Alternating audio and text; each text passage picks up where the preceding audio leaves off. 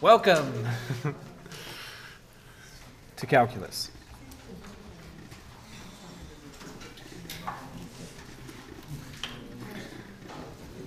So last time we were talking about area between curves, and we're still, we're going to do one more exercise about the area between curves, and then we're going to go on to something completely different. So, for example,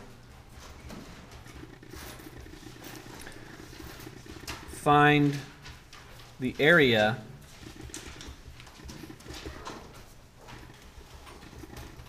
between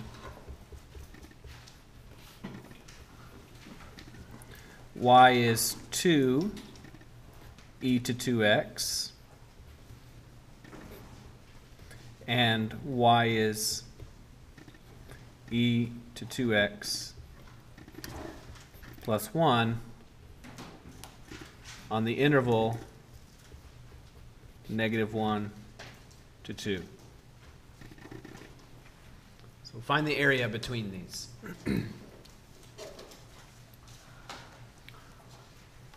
okay, so if you remember, the strategy for such an exercise is you have to sketch what, what each of these curves is doing. And you need to find out, in particular, their intersections. Right? You need to know where they're touching, or, and especially where they're crossing, is what you need to know. okay, so let's, before we attempt to sketch, and before we attempt to find intersections, let's try and remember what each of these will look like. Okay, so then how about this one right here? So if this 2, if that 2 wasn't there, it was just e to 2x, then, then what would that be? It'd be an exponential function, mm-hmm. right? And how does, how does an exponential function go? It, it's flat from the left, and then eventually starts increasing, right? So, so it increases quickly to the right, and then decays to zero to the left. So if you multiply that by 2, that just means every point is twice as tall. So it'll still decay to the left, and it'll still increase to the right. So this one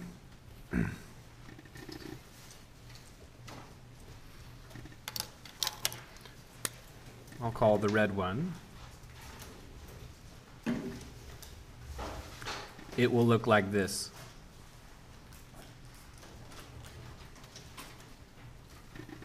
all exponentials look like that? Exponential line. When all exponentials that have a base greater than 1 look like this. If the base is less than 1, like half, then it's like this one, but reflected. Okay. so I'll call this other one green one.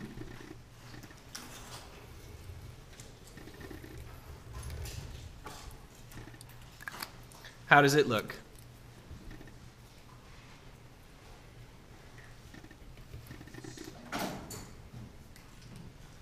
So how will it look? Same. It's quite similar, but what is the effect of the plus one? It moves, it shifts it up one. Shifts it up one. So that means that while this one, this one has a horizontal asymptote of y is zero, what does this one have a horizontal asymptote of? y is 1. Okay, so then this one will look something like this.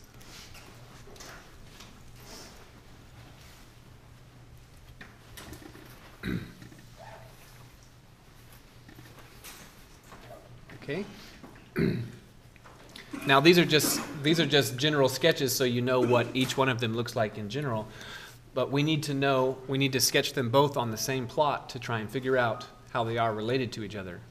Right? We need to get them on the same plot so that we can see, ah, in this region, red is above green, and in that region, green above red. That kind of thing. So in particular, we need to know the intersections.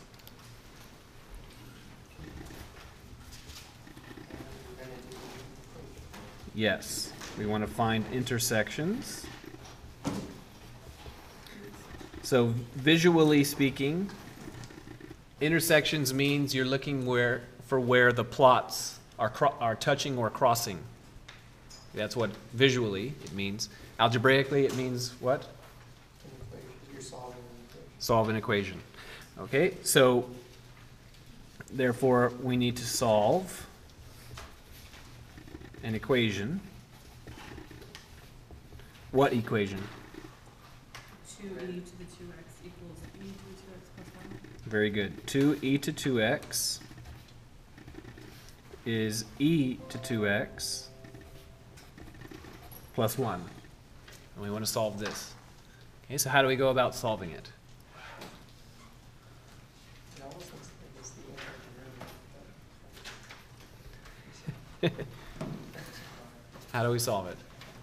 Well, you can subtract e to two x from Right. both sides. So remember, e, e to 2x, you could think of this like a thing, like an apple, right? Two apples is apple plus 1, right? So subtract one of them from both sides. So e, e to 2x is 1.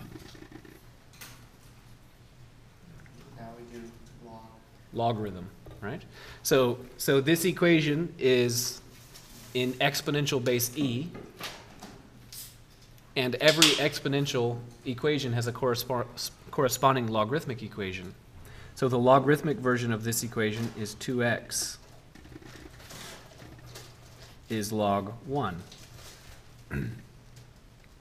The reason why this is the case is because y is a to x, that's an exponential equation,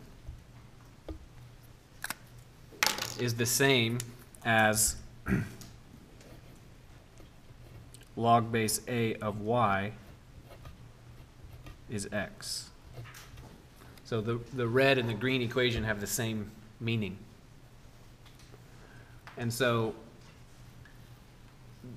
this, this exponential equation is in base e, so its logarithm equation must be in base e, which is why I'm using natural log, which is the log base e. Any question about getting to this step? Can you explain the right hand side? I'm Not completely, the right, because, This, No. this, yes, this, this, i- this over here is by, this is something that we're just remembering. it's just a a rule. Yeah, this is, this is definition. How From, does that apply the left? Because I thought you just would use the log of either, of either side. Mhm. And because log base e of e is one, and you end up with two x. you, you can think of it that way, that's fine. There's nothing wrong with thinking of it that way. Because whatever you do to one side, you have to do to the other. Right. You, you can, so, so I think what you're saying is you're, you're imagining an intermediate step where I, where we computed log of both sides. Yes. That's fine. But what I, I'm also telling you that this is simply the definition. So, which is to say that the red equation is in base A. The red equation is in exponential base A. So on, that means that when the base is on the right-hand side like this, it's exponential base A. And when the base is on the left-hand side, it's logarithm base A. So to move, to move the base side to side, logarithm over here, exponential over there. Or just compute log of both sides if that is better for, for you. Other questions about this? Okay, what is the natural log of one? Zero. Zero. So two x is zero, so x is zero. Okay, so then, are there any intersections? And zero? So, so let me ask it like this, how many intersections are there? One. There is one intersection, and it occurs at x is zero. What is the y value of that intersection? Don't- one. We have to put zero back. Pl- Plug it back into what? And one of the equations, Which one? it's up to you. Why, why is it up to me? I really don't know the answer. Okay, Either one, because it's where sorry? it's where they equal, so. Because it's where they're the same, right? If they're, if it's an intersection, if it's an intersection, it must be the same x value and also the same y value. Otherwise, it's not an intersection, right? So, which is to say, what if you, what do you, what y value do you get if you plug x is zero into this? Two. You get two, right? Because this would be e to zero, which is one, multiplied by two is two. And what do you get, what y value do you get if you plug x equal to zero in here? You get two. It must be this way. If it was any other way, that would mean we, would- we made an error. Right? So, so now we're gonna take this x value and plug it back into either one of these, doesn't matter. And then as a result, we get y is two.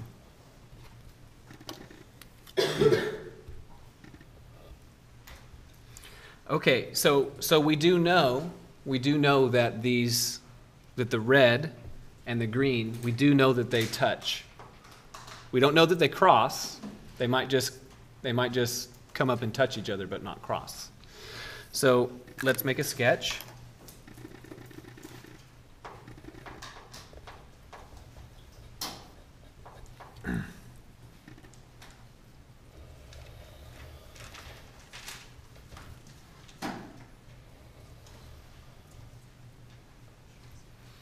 So at, at two zero, I'll say that this is, uh, sorry, zero two, they both, they both go right here.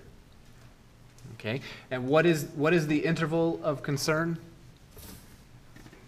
Oh, from negative one to two. Negative one to two. So if this is negative one, then this is two.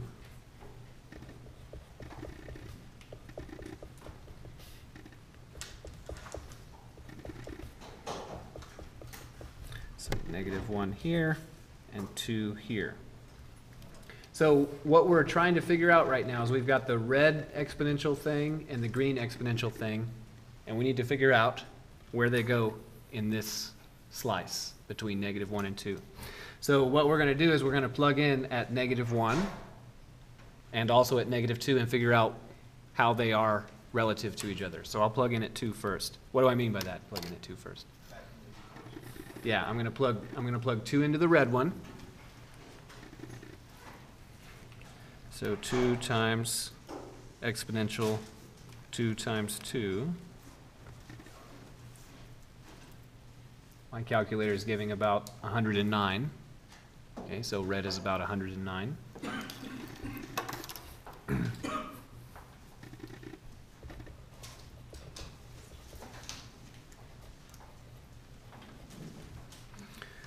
And then green. Green is exponential of two times two and then plus one. And my calculator reports about fifty-six.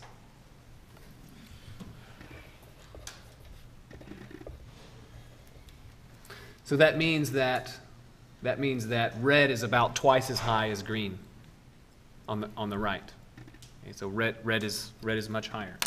So red is like somewhere up here. And then green is down here.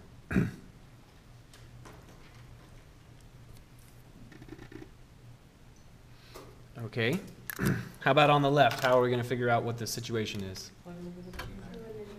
Yeah, same, same story, except now let's plug in negative one.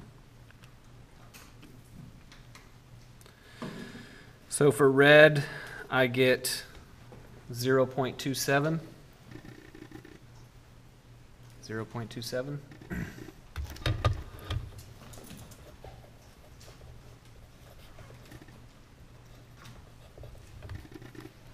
And then for green,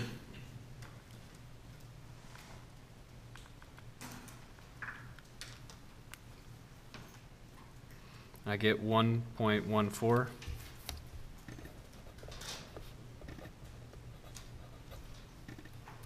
So, so which one is, is higher on the left?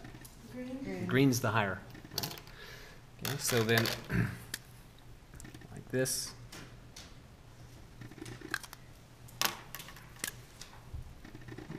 Is that black dot on the solid line? Is that the- that's where they cross. That's, that's the intersection that we found up here. So then, this is my attempt at artistry here. So something like that for the red one. But wait, if green got one point one four, shouldn't it? This is, this is two. I don't claim that my, Oh, that's two. I don't claim that my drawing is to scale. I thought that was one, that was my problem.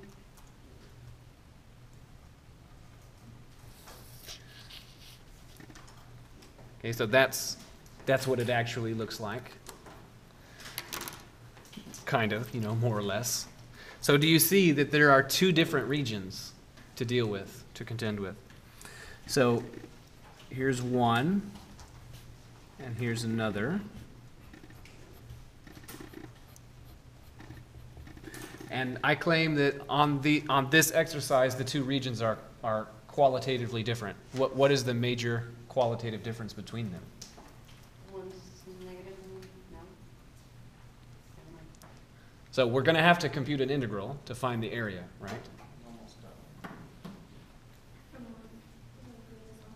Yeah, this one, green is on top. This one, red is on top. Remember, in the area formula, for the area between curves, it's always the one on the top minus the one on the bottom, right?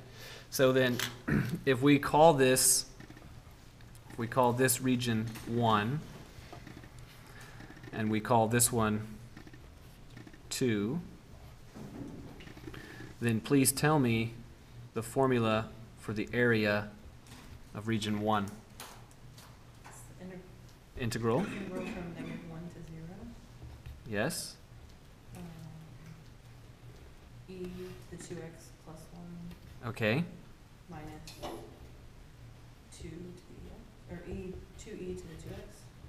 okay, good. And why did you, why did you make that choice? Because the green is on top. Right. So it's the, it's the green one, right? The green one minus the red one.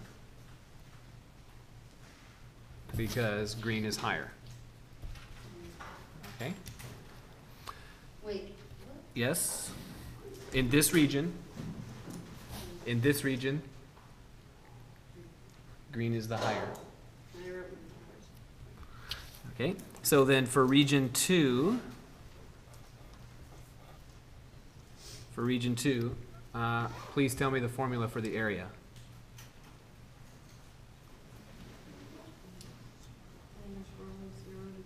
Zero to two. And then what? Two Very good. minus to two x plus Okay, and I'm gonna wait for, okay, I didn't even have to wait. Oh, good. I was gonna say that I'm gonna wait for someone to to correct me.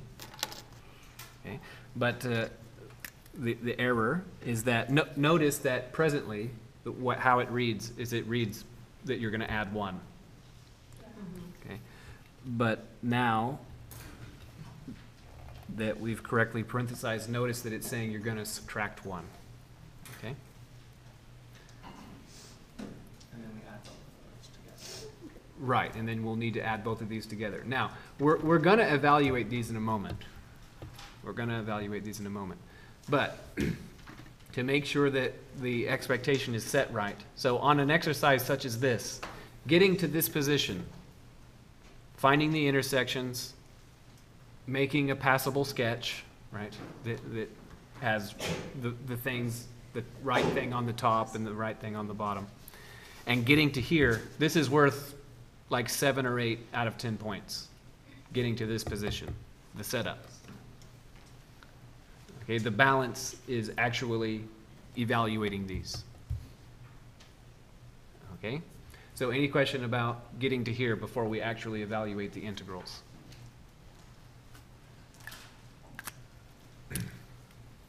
Okay.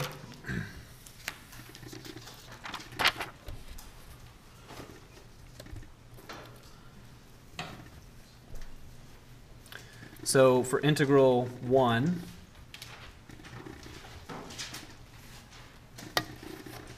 integral one, I'll simplify a little bit and I'll say, okay, well, it'll be one and then minus e to two x, because there's a cancellation.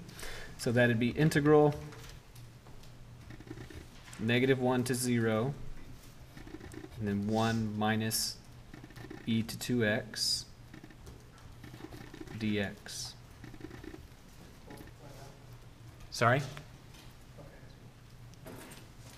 Uh, So now, we'll use the fundamental theorem, which is to say that, can we find an antiderivative for this?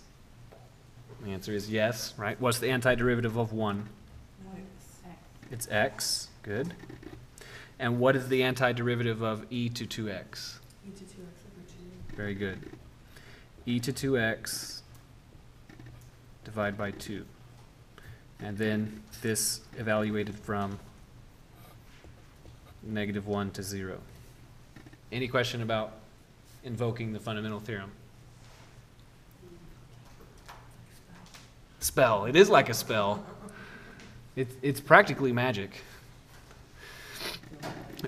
You know, from, un- until you get real comfortable with it, you know. But i- for people, for, for people who go through a, a, and, and get a math degree, like, it's, the, the fundamental theorem is like magical. It's like, what is it doing? Until you finally take enough math courses and you actually have to prove the fundamental theorem and some other things related to it, and then you realize, oh, it has to be this way. But there's still, even for me, it's, there's some magic associated with it. Okay, so plug this in. So this evaluated at zero is zero. What is this evaluated at zero? Half. Good. And then minus negative one minus e to negative two divided by negative two. Uh, No, divide by just, just two.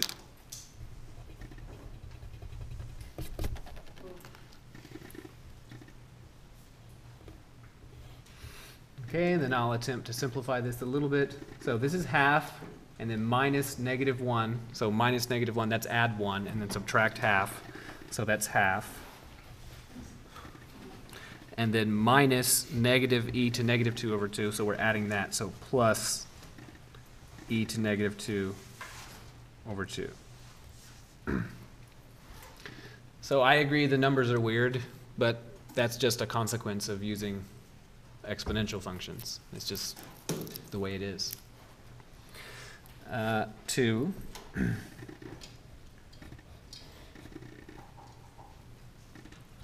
So this integral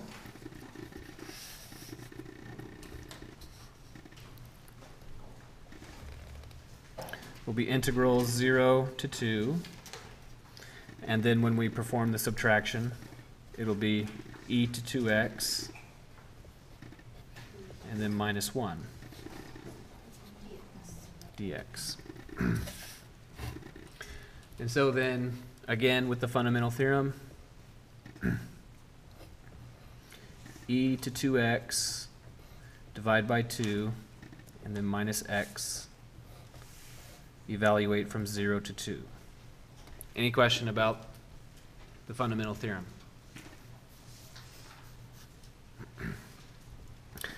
Okay, plugging in two, that's e to four over two minus two, and then minus half minus zero.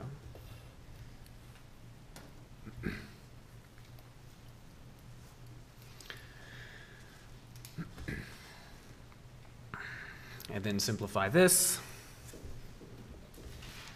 That's e to four over two minus, minus four halves, and another half is five halves. Now we have those. Right, now, we need to add these two parts. Do we have to simplify these? Uh, it'll depend on the exercise, right? So then, uh, on a, on a question like this where there's all this e-business and stuff like that, uh, I would end up, I'd probably say, and give me the answer two places past the decimal. So type it into the machine and, and have it. So, we'll, we'll, so let's do that. So 1 plus 2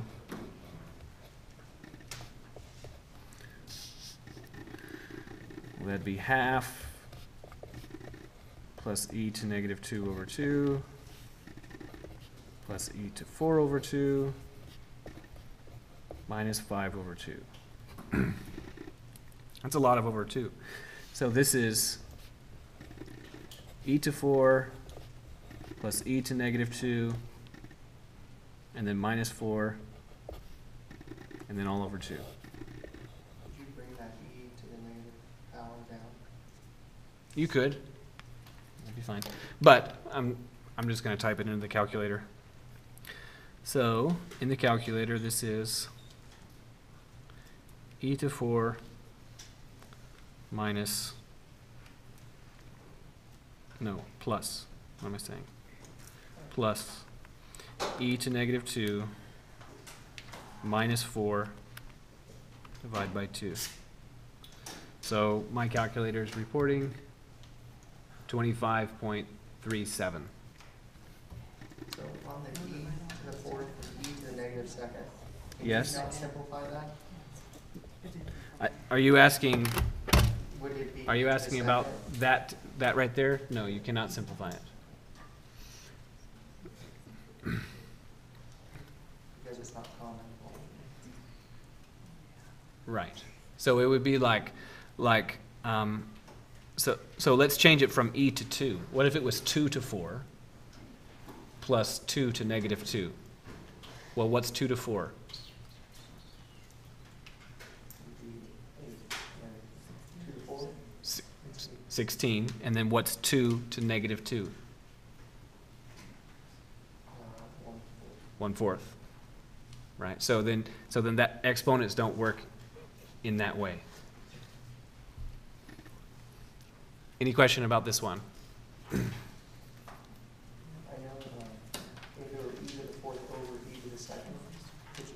Then you could, right? So then what, what, what you are remembering, I think, is things like this. x to m divided by x to n is x to m minus n. I think this is what you're remembering.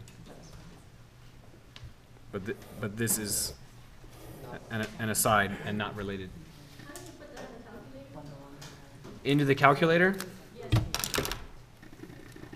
So, to type it into, into my calculator, the kind of calculator that I have, I, I have to type it like this.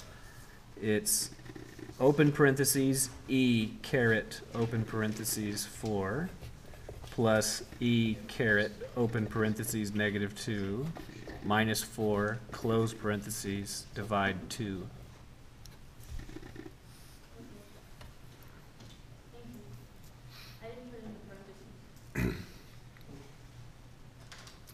Other questions? Okay, so finding areas. Lovely. So now, this is, this is finding areas with, with uh, formulas. You, I give you formulas like these, and then from these formulas, you produce pictures, and then, and then you use more formulas to, to invoke the fundamental theorem and all of this. So, so now we're going to do si- similar exercise, conceptually similar exercise, except with no formulas. We'll have pictures only. So now we're going to do the same thing with just pictures.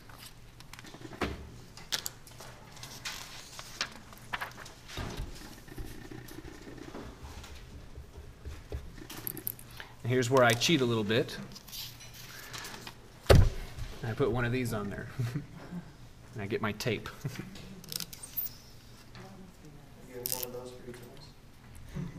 Um, if, if you want some, they're, they're right here. You can come get one. And also, if you want, in the same place where the notes are, you can download these. Because what I do, I made a PDF of these, and then I print them out and then I cut them into these little squares. And then I, and then I bring tape. Okay, so, well, I'm a mathematician, okay? We, we have, we have idiosyncratic behavior. That's, that's notable about us. I would agree with that. Hardly. Okay, They make little post-its too, like graph paper. Do they? Post-its, yeah. well, there you have it. That, that'd be a good way too. But, but our, our department doesn't have any, but we have lots of paper, so. Okay, so then here, here's one.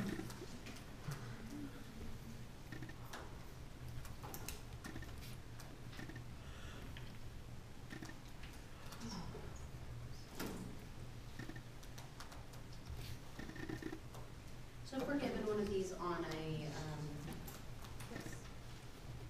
quiz or the like, um, will it be visible, like, will, will there be numbers like on the?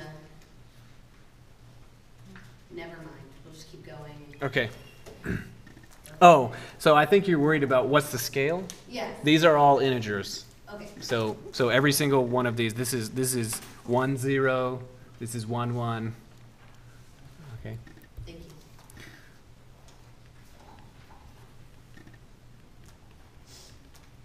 you. okay, and gonna say that this is, this is the plot of a function f.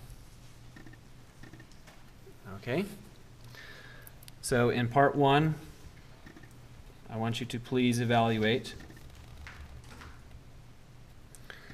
Uh, and furthermore, all of these, all of these pieces are either straight lines or parts of circles. Okay, so this is, this is part of a circle, and these are straight lines. So integral from negative five to four of f of x dx. And I'd like to point out that I haven't given you any expressions, right? I haven't given you any, like, no, no x squared plus one, nothing like that. But I claim that you can answer this question here and now and immediately.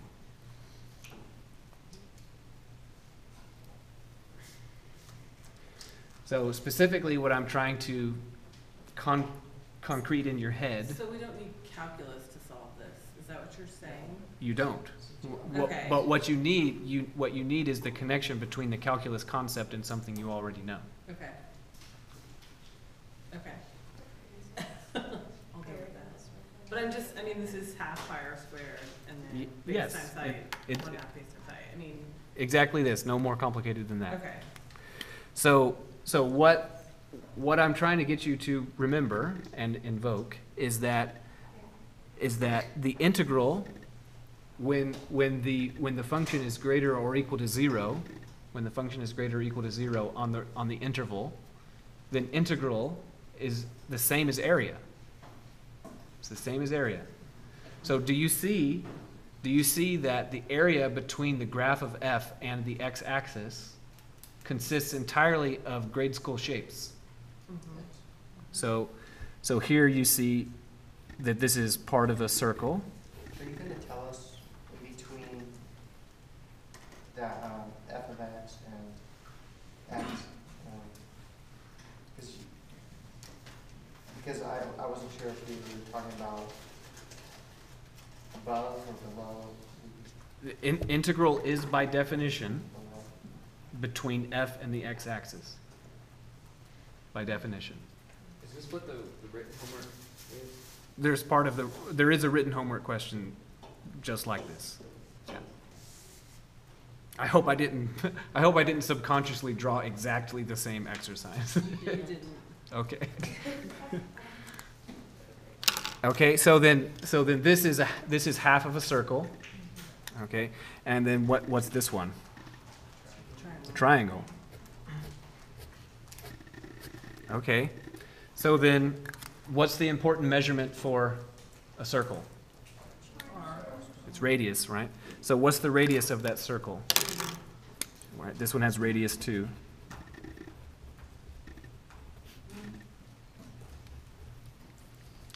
And then what are the important measurements for the area of a triangle? Base and height. base and height. So what is the base of this? Five. Five? Yes, one, two, three, no, one, two, three, four, five. Six, Well, there's five points, uh, there's six, there's six points, but there's only five units, right? Starting here, one, two, three, four, five. that's the most I've understood all semester. Okay, excellent. So what's the height? Three.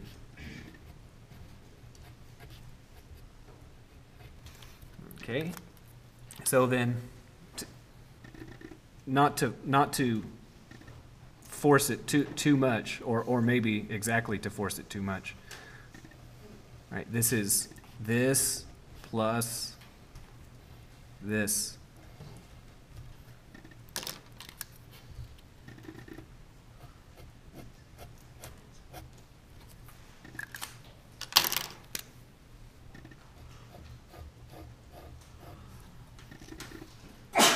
Okay, so then what's the formula for the area of a circle? Pi r squared, and because this is half a circle, half pi r squared. And then, what's the formula in terms of base and height for the area of a triangle? Yeah, half base height. So now it's just a matter of plugging things in. So that'd be half pi times two squared plus half five times three. So that'd be what, two pi plus fifteen over two.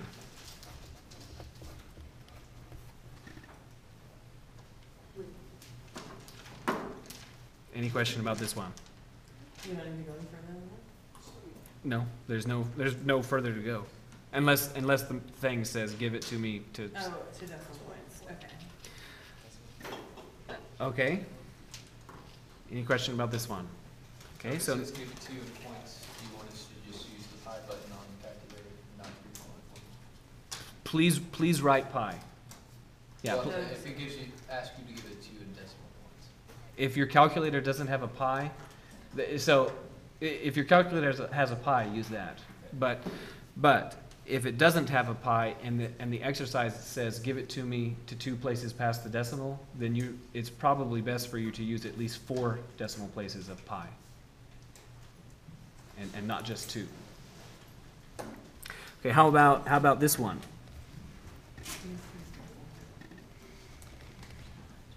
The integral from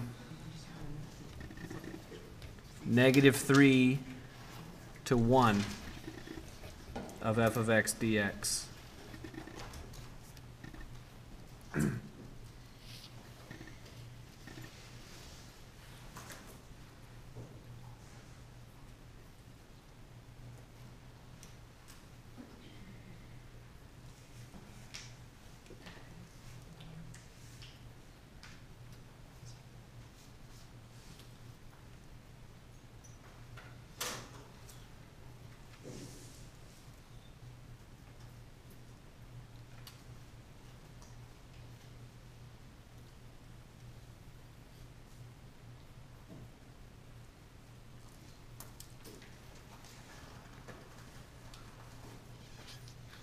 So do you catch the trick?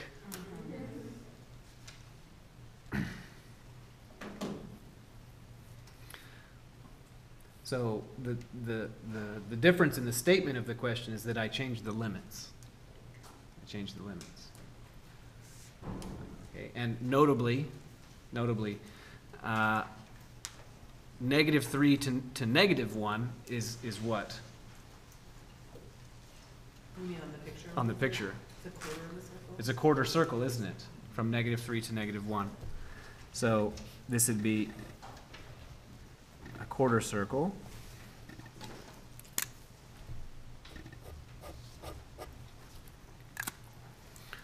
And then what is, what is negative one to one? An- A, a triangle, a different triangle. Right.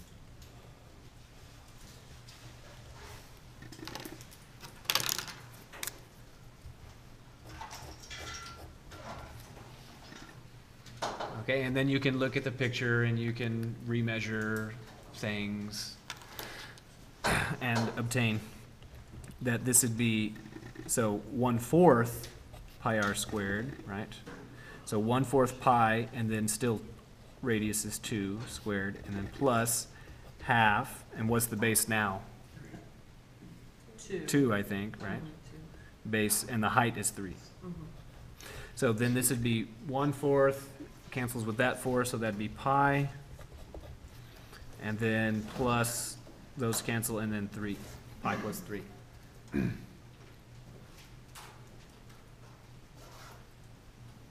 Any question about this exercise? So, the, the purpose of this exercise is just to really try, if it wasn't already, to really connect the idea of integral and area in your head. That's the purpose. So, so please remind me, when, when are integral and, and the grade school notion of area the same? When are, when are they the same? And It's a shape that we know. What is greater, greater? When the, yes, this one. When, when the function being integrated is greater or equal to zero, right? So if you're integrating negative things, then now you, now the integral accumulates negative area, and that's a little different than the grade school notion of area. So then let, let's do that. You have a question? No, um,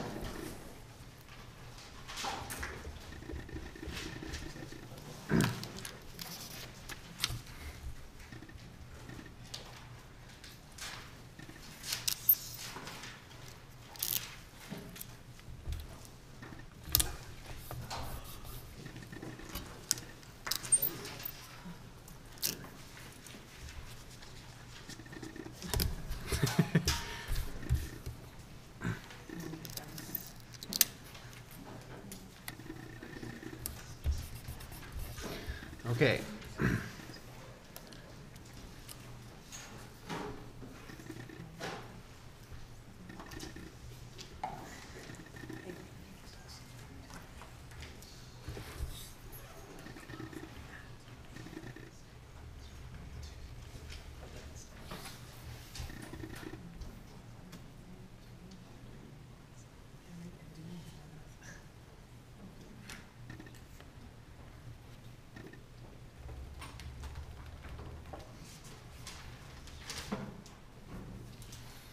Okay, and I'll say that this is, that this is function g.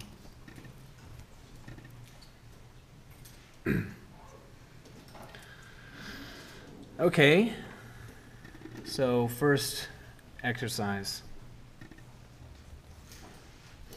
Um, integral from negative four to three of g of x dx.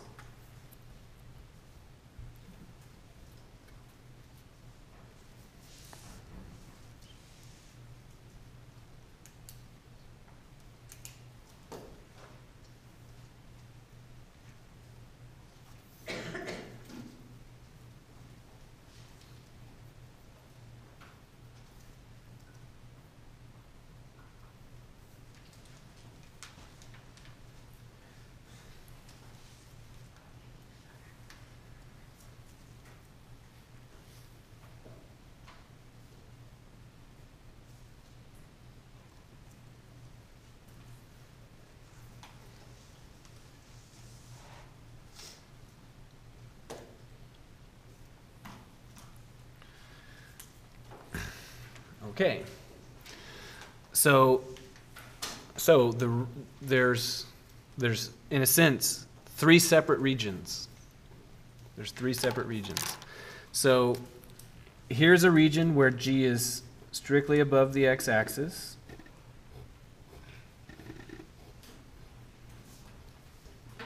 Okay, so then, and that, that's a triangle. And here's a region where it's below the x-axis. And that's another triangle. And, and then here's a region where it's above the x-axis. So three separate regions.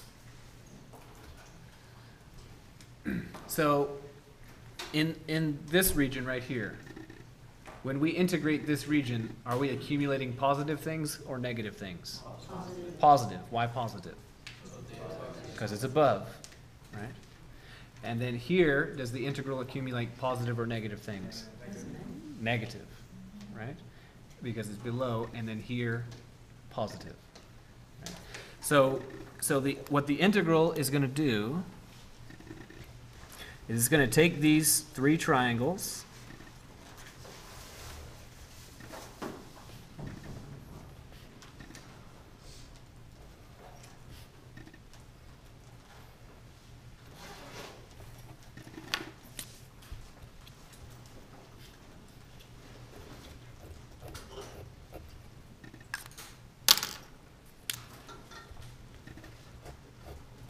Will there ever be a case where you ask how many triangles have hit our hands, like the three eight example?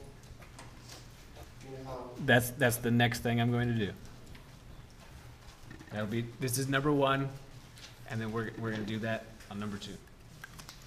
So, so, the integral reckons this one as positive or negative? Positive. Positive, and this one, Negative. so minus this one, and then this one positive or negative? Positive. Positive. So what we need to do is we need to look at the plot and measure the appropriate measurements and then use our grade school formulas and then, and then do this. Okay, so then for the red triangle, base is what? Two. two. Height is what? three, Four. So it'll be half of eight, which is four. Okay, then minus. So what's the base for this one? Three, and what's its height? Two, so it'll be half of six, which is three. And then what's the base for this one? Two. Two, and the height? Two, so it'll be half of four, which is two. I could have sworn last class, we discussed not having negative area. I, I'm not asking about area. I'm asking about integral. So when we're looking for the integral, it's going to be, we can take away, but if we're looking for the area, then it's all one positive. Then it's always positive. Okay. So, so, so what I'm trying, so let, let's say this again, real clear. I just, we're trying to get one hundred percent agreement here. When, when you are integrating, and when the function you are integrating is greater than equal to, to, greater or equal to zero, always, then the integral is the same as area. They're the same. So now my question to you is, is g always greater or equal to zero? No, It isn't. So that means that the integral of g over this interval is not the same as that area. It's not the same. okay. It, it reckons this part as being the same as grade school, positive. It reckons this part as being the same as grade school, positive. But it, that's- but this part in the middle is negative. So when we're looking for the integral, W- When you're doing integral, yes. So the answer here is what? Three. So now let me ask, you, you- you, you two have asked basically the same question. And so now I'm gonna, now I'm going to, I'm going to give you the exercise that you are remembering. So now, just negative, right? yes, now, now the question is find the area between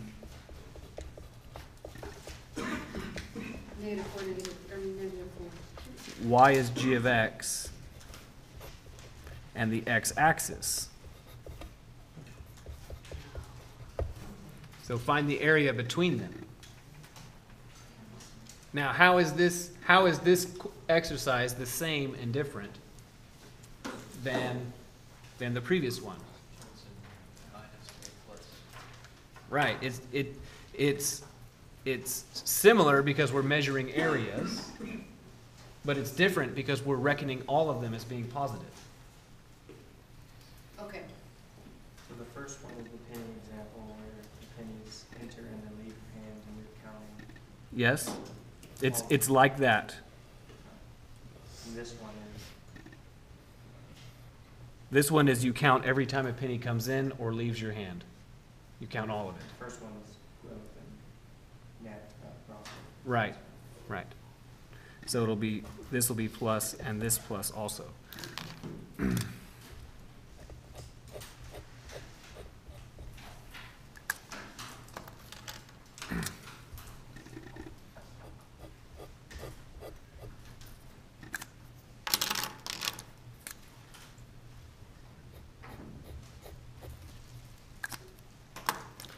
So then the answer here is four plus three plus two, which is nine. So on the, on the previous exercise, to, to review the previous exercise, I didn't ask it on the previous exercise. But here I'll ask, I'll ask version one point one, uh, question one point one. So find the area between y is f of x and the x-axis. So what's the answer now? It's the same as question one. It's the same now. So it's two pi plus fifteen over two.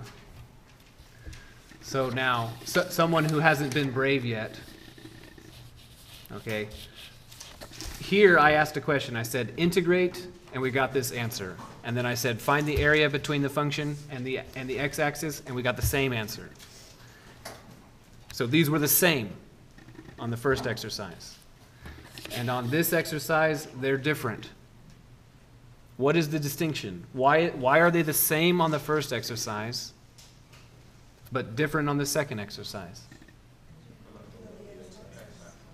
Right, the first, the first function is entirely above the x-axis on the first exercise. And this one, it is sometimes above and sometimes below. So that's why it's different. So going back to last class Mhm. where we were doing the integrals of, you know, like a parabola. And we, we d- did the same thing. Mhm. It's, it, it all corresponds. These are all, these are all exactly the same, except, except these exercises, I'm not giving you any, I'm not giving you any expressions. And you're not using the fundamental theorem of calculus where you find an antiderivative and evaluate. Using stuff we already. Yeah, you have, I'm making you, I'm making you use this concept, but, but using grade school knowledge now. Okay, good. Any questions, further questions about this? So any questions before we move to something completely different?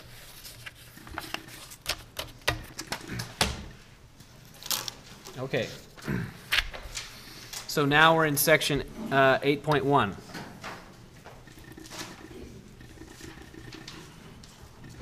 Which is called integration by parts.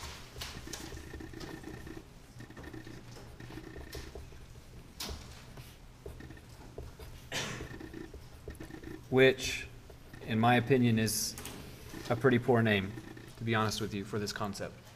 So, so, remember the way the course went, is we talked about, we said, okay, calculus one was primarily over derivative and differentiation and the, and the consequences of that. The very first thing that we went over, the very first new thing that we went over in, in calculus two was antiderivative. Antiderivative. So, for, which is the, in, which is the reverse procedure of derivative. So for, for every derivative rule, there has to be a corresponding antiderivative anti-rule. So it's, it, that, they're, they're going to be in correspondence with each other. So, so just like you can factor constants out of the derivative, you can factor constants out of the antiderivative.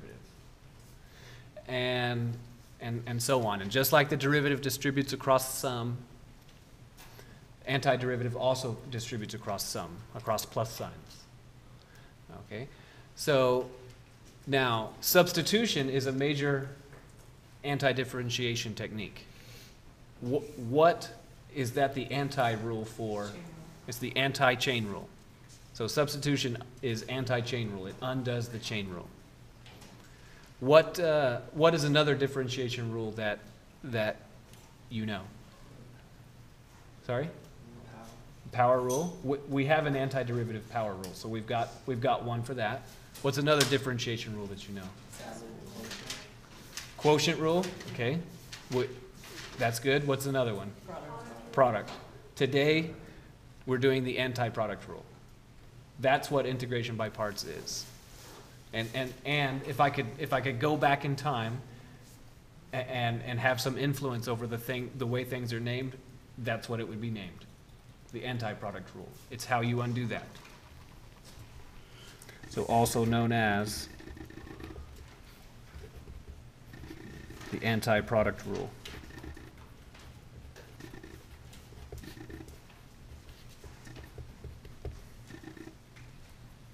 Okay, so in order to get into the topic, in order to get into the topic of the anti-product rule, let's first uh, do some product rules.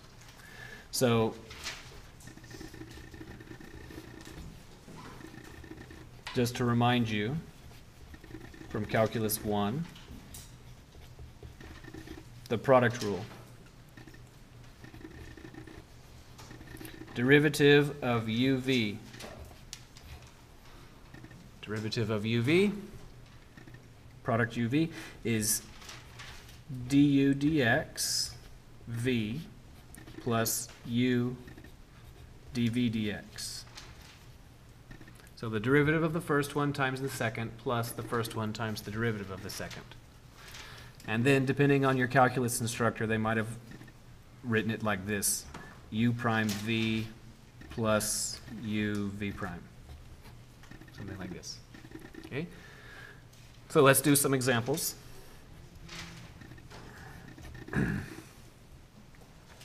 If y is equal to x squared times e to the 5x, then please compute dy dx.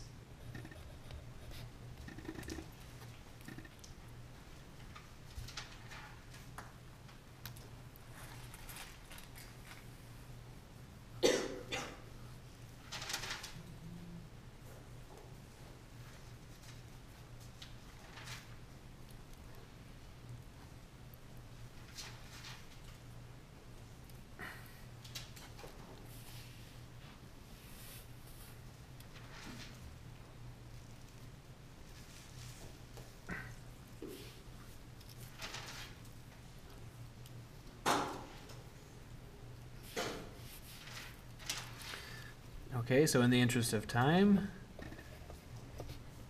derivative of this product.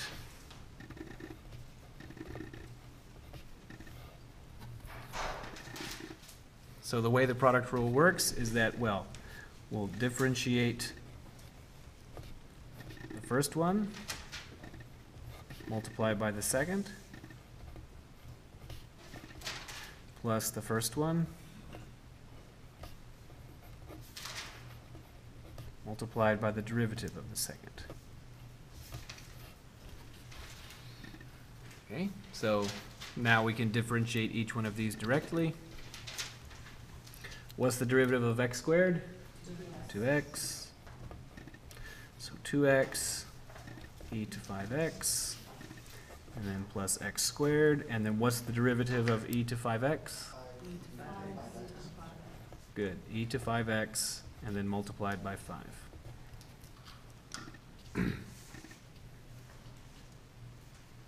Any question about this one? And we're gonna do one more to make sure that we're comfortable with this, because we're gonna be doing this in reverse in, in a little bit. So, so you first gotta, you gotta get it right going forward. So how about, um, how about if W is, I don't know, um, four T to eight times the log of T?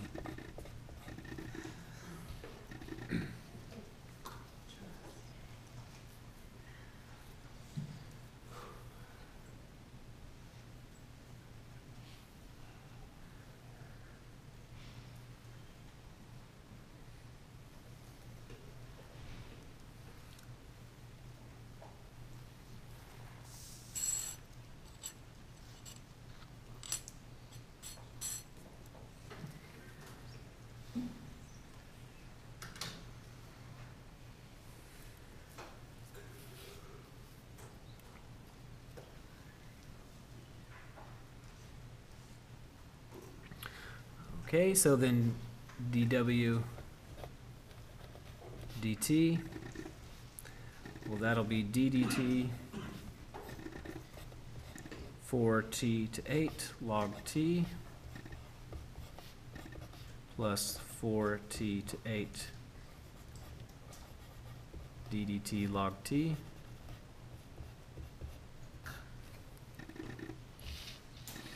And then now we can evaluate those derivatives using their respective rules. So this would be thirty-two t to seven log t four t to eight times one over t. And then on a, you know, if this was a real exercise, I'd say do simplify or don't simplify or whatever. Okay, any question about this? Okay, now, before we get to the main topic of this section, we need to cover something else that might not have been covered in your Calculus One class.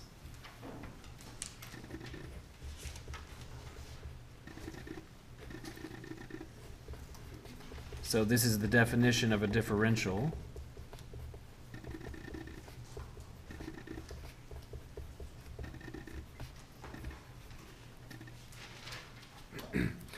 So if you have, if you have u is a function of x,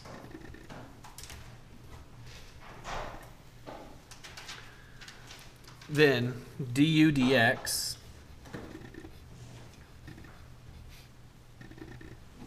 is f prime of x and the differential du is f prime of x dx. So the first line, this is what you're usually concerned with um, in most of Calculus 1. In, so did, did y'all use this at all in your Calculus 1 class? You did use it some? I'm getting some yeses and I'm getting some nos. It's a substitution. Yeah, it do- it does look exactly like a substitution, right? Of cour- and, and of course it is related to it. So thi- this right here, this is called a differential. The term itself or the, The, the term and the objects, that f prime of x dx? That's Yes. Differential? yes. So the study of, the study of differentials is a, is a, is a, a beautiful subject in math, but it's not really too much. We're not gonna do a lot with it. We have just a little, little bit to do with it. So we were dealing with differentials with substitution, we were switching the differential. Mm-hmm. Okay, so what we're going to do now is we're going to get accustomed to using a slightly different notation to compute a differential. And it's just like computing a derivative, except the notation is slightly different. So for example, if I say u is x squared, then what's du? And we've been doing this, so you shouldn't feel too uncomfortable with this. So what's du then? Two x dx. Two x dx. Right, it's just like, it's just like this, except we're omitting that step in the middle. Right? Okay, so then another one. So here's one, two. How about if w is log of t? Then please tell me dw. Okay, so I'm gonna write something. dw is one over t. dt. dt, right, dt. So th- the thing on the left, dw is a differential. What's presently written on the right is, is an expression in t. It's not a differential. So what, what's presently written could, could in no circumstance be correct. So to make it correct, dt. Okay, so then three, how about, Was du by itself or dw by itself considered a differential? Or does it have to be in, dw is a differential. have to be in an equation? Yes, D, E- yes, th- this is a differential, dw, and this is an equivalent expression for dw, one over t dt. So they're the same. And, um, depending on your context and what, what, what your mathematical training is. So in my head, I'm trying not to say one form. So, so to a mathematician, this is called a form. In other contexts, it's called other things. So how about what if, what if A is, um, say, x squared times, uh, e to eight x? Then please compute dA.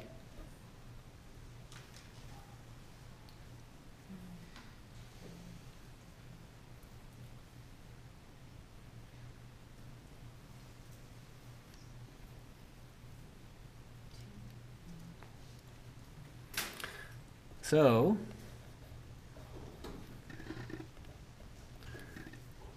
How do you suppose we're gonna compute the derivative of, the differential of this product? Oh, how about the product rule? So then this will be d, and then x squared e to eight x. And then what's important is that d, d operates in the same, in the precise manner that derivative operates, which is to say that this will be d x squared e to eight x plus x squared d e to eight x. Why do we have a D there? Why don't we just do the middle step? What middle step? The D over DX? Because this is not, this is not d dx. So, what? These are the analogous steps that we're at. Okay. This is d. This is, this d is called the differential operator, and d dx is called the derivative operator. So they're slightly different. So as soon as we're done with this step, it's gonna turn into DX. Yeah, a dx is gonna show up. Because, because when we do this, what is d of x squared? Two X. Two x dx. So two x dx, and then e to eight x, plus x squared. And then what is d of e to eight x? E to eight X times eight. Very good. e to eight x, eight dx. Oh, and you can't factor out the DX. And you can oh, factor out the dx. So notice that, that this has a common factor of dx in it, and it can be factored out on the right. Uh, so this will be, this will be two x e to eight x plus x squared e to eight x times eight dx. Okay. So how about one more? How about just d of, um, I don't know, log of x squared plus 1.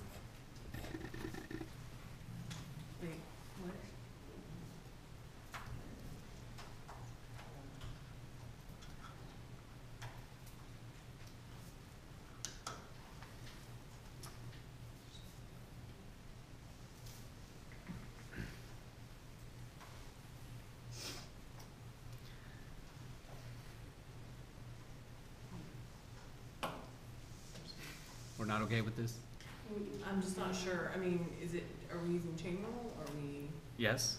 okay. Alright, so if this is log, log of u, Mhm. if this is log of u, then what is the derivative of log of u? It's u prime over u, right? Mhm. Derivative of inside divided by inside, and then dx. Okay. So this will be, this will be, um,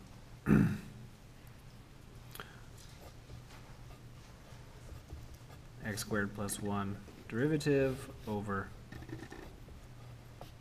x squared plus one, and then dx. Would you write that prime with, in, uh, with a D?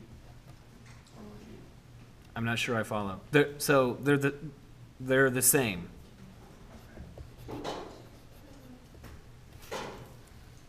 So the way that, the way the rules work for expressions in this class is it's, it's just, it's just like moving this dx over here. Good. This was confusing because you didn't make it equal to anything like you had in the. Yeah. I, I gotta mix it up a little bit. right? Okay. And you, um, I was like, wait, what's the trick? as you switch to the prime notation, how would you write that in the D, dx notation? You see what what I'm talking about? Um, Yes. X squared plus one Yes. prime, how would you write that in the D? Y- We, we, we could have done it like this. We could have said that this would be d x squared plus one over x squared plus one.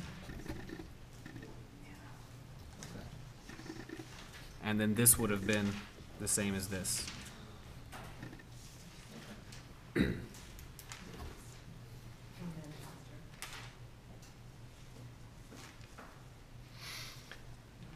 Okay, so now we can get to the main result for today.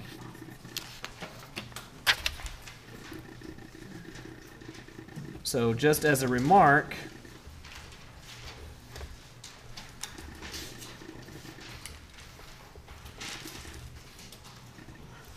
please tell me, what is the differential of product UV? It'll be du v, right? And then what? DVU. Plus u dv. It doesn't matter what order they're in, but, uh, but I always, si- since these were in order u and then v. I leave these in order u and then v. So the prime notation doesn't matter. It's the same, right? It's the same. No, I just. Okay, and so here's a proposition. So what we're gonna do is we're gonna take this, we're gonna take this, and we're gonna solve for that one.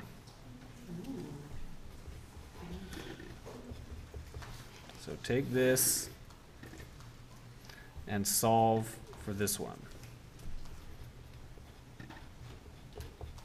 So UDV is, well, we'd have to, we'd have to move this one to the other side of the equation. So this would be D UV and then minus du times v. Okay, so now I'm gonna commute these so that it says VDU. So that we have U dV is D UV minus V du. And so now we're going to anti-differentiate both sides.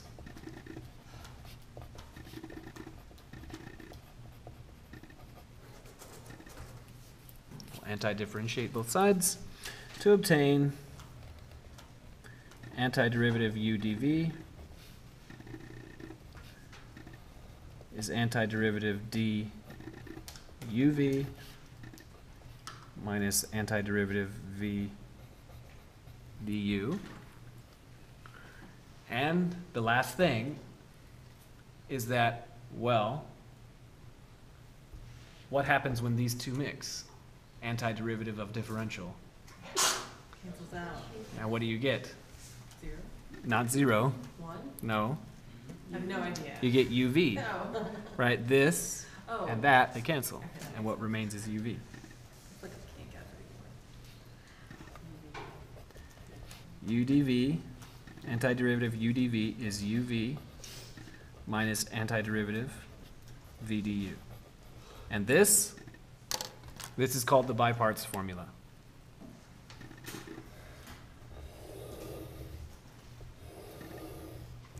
We take that whole top formula, right? And that's what Just, just this. th- th- this formula is a consequence of the one at top. And we take that and we subtract and we solve for, Mhm, for this one. And so this is called integration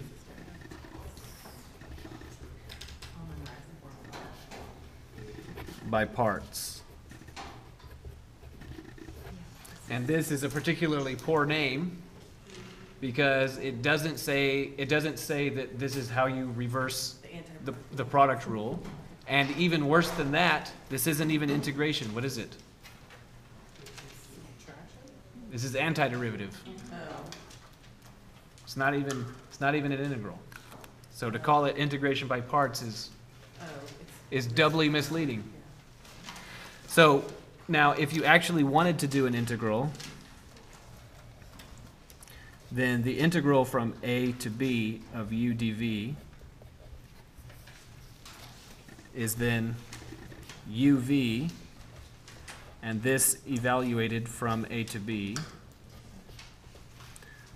minus integral from a to b of v du. So here's, it's really the same formula. But students usually like to write down both of them. So this one for when you're computing antiderivatives.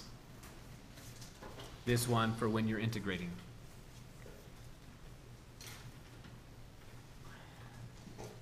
Okay, so here's two, two new formulas you must memorize. Yeah, exciting. So what this means, what this means is that our, our integration procedure now has another step, right? The, formerly, the last step was, was, okay, let's do a substitution. That was the last step. And it had, it had to work because we had nothing else to do. That was it. Okay, now the last step is by parts. So you look at it and you say, is this one of the antiderivatives that we know? No. Can we algebraically simplify it? No. Can we do a substitution? No. I guess we have to do by parts then. Okay? So let's do one. Yes? how did you jump from, uh, integral, or the antiderivative of d uv? Here, down to here to here? Yes. Because, because if you differentiate something and then anti-differentiate it, you are off by at most a constant. And that constant is taken up, the slack for that constant is taken up by the fact that this antiderivative is not yet evaluated. So, for example, please, here's an expression, x squared plus one. Please differentiate it for me, okay? Now, please anti-differentiate two x. two x plus c. two x plus a constant. So you, you don't know what the constant is anymore. You, you did, you don't, doing that, differentiating and then anti-differentiating, you di, you don't know that it was one. That, that's all that you lose here. Differentiating UV and then anti-differentiating, you're off by at most a constant.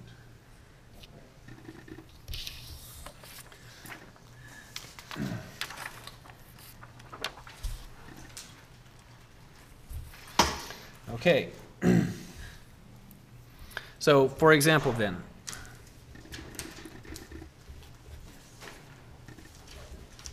so antiderivative of x e to 5x.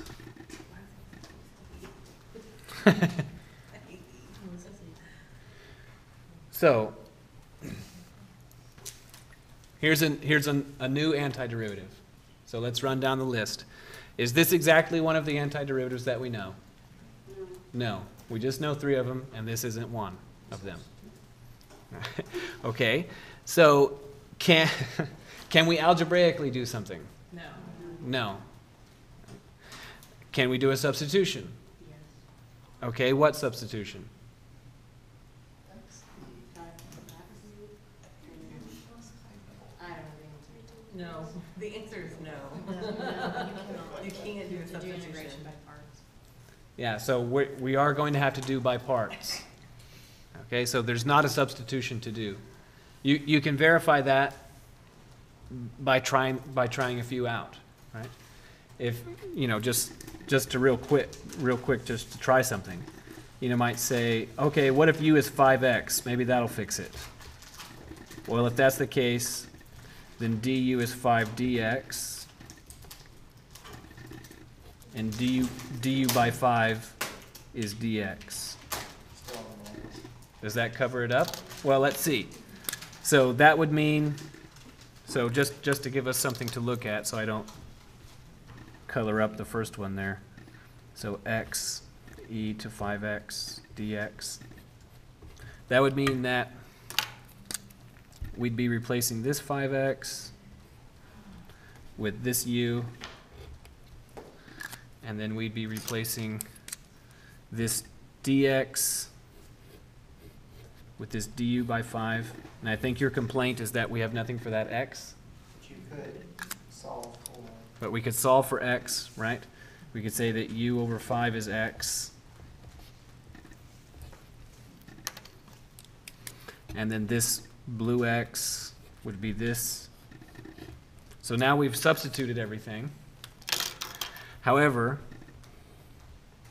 when you do that, this is u over 5 and this is du over 5. So both of the divisions by 5 can come out as 1 over 25. And then it's antiderivative of u e to u du. I still don't know that one. Yeah, and this one is, this one is just a simpler version. This one's just a simpler version of the antiderivative that we don't know. Okay, so then you can go through a few different trials of substitutions, and you're, you're gonna determine that, okay, no substitution is gonna work. Okay, another, another heuristic, and this is just a heuristic, a rule of thumb, is that the fact that we're anti-differentiating and the thing that we are anti-differentiating has a product in it, that is, that is an indication that you may end up using the anti-product rule. It's got a product in it. Okay, not always. I can, I can make one that has a product where you don't. But the fact that there is a product leads you to think, hmm, maybe. Okay, so then we're going to do it by parts. And for the first, for the first one, I'm just gonna, I'm just gonna tell you the way it goes. And we're gonna do it, we're gonna do a couple, and then I'm gonna have to show you how to do what I'm telling you. But it's, it's too much to try to introduce all in one exercise. So the formula is, so u dv is u v minus antiderivative v du. So that's the formula. So what we're going to do is we're going to do u is x. And what we're what we are doing is we're trying to split we're trying to split um, the given antiderivative like this. So if u is x, then what's dv? E to the five e to 5x dx. If, so whatever u is, dv is automatically everything else. Okay, so the fact that u is x, dv automatically needs to be everything else. Okay, so now let's consider the by parts formula. So considering u and du to be separate symbols, how many symbols are in this formula? Four, right? There's u and du, there's v and dv. So there's four, four different symbols. Yeah, how many of them do we presently have? We have two of them. So we have u, how do we get du? The, the, right, the differential. du is dx. Okay, we have differential dv. How do we get v? Antiderivative. So v will be antiderivative of this e to 5x dx. And now here's a moment of truth when you're attempting by parts. One of the moments of truth is right here when you, when you have to ask, well, can I do this one? Because we couldn't do that one, and we're, in a sense, trading it. We're saying, well, how about that one? can we do that one? Yeah. We, we can. So what is this one? Very good. 8 to 5x over 5. And then now, I'm not writing plus c.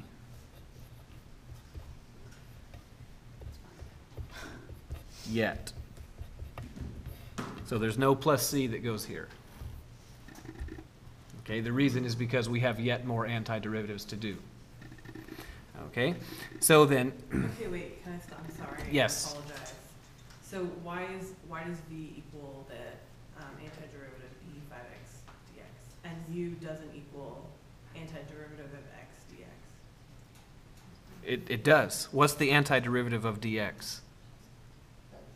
It's x. So for this one, we started with u and we needed du. Right? This one, we started with dv, but we needed v, we needed v, so we're going in opposite directions. I Differentiate, got it, yep. Anti-differentiate. That makes sense. Sorry. no problem. So the right-hand side of the by parts formula is uv minus antiderivative v du. So part of the rest of today as a teaching strategy, I'm going to say as many times as possible that the right-hand side of the by parts formula is uv minus v du. uv minus v du. uv minus antiderivative v du. Okay, good. I'm going to say it as many times as I can today. So now we just substitute these in? So u is x, and v is this thing, e to five x over five, and then minus antiderivative, e to five x over five dx. And now here's another moment of truth when you're attempting by parts, because we have yet another antiderivative. Can we do this one? Yes. Ah, we can do this one. So that means that we, that we're on the right track. So x e to five x over five, and then minus a fifth, antiderivative e to five x dx. So, do we know this one? Yes. Yes, e to five x over five. So this one is x e to five x over five, and then minus one over five, e to five x over five, and then plus c.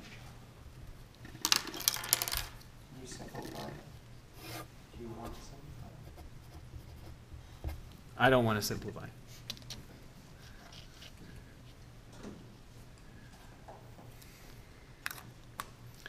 The, the instructions will, will say. What, e the five x over twenty-five?